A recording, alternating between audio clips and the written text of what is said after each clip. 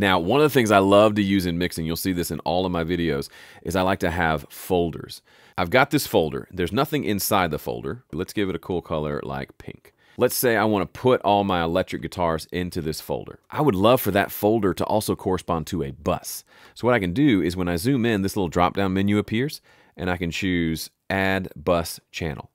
And what it did is it turned this folder into a bus. So now it's double duty. It's a folder and it's a bus. Currently, these are all this kind of light blue, and they're all routed to the main output by default. But what happens when I drag these into this folder? They are all now routed to my electrics bus. So I changed the color and the routing by where I placed it. By when I dragged it into a folder, it also changed the routing.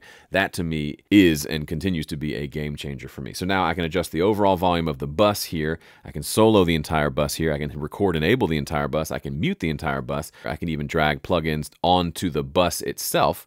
Let's say I want to EQ the, all these guitars together. I can do all that on the bus. I never even had to open the mixer.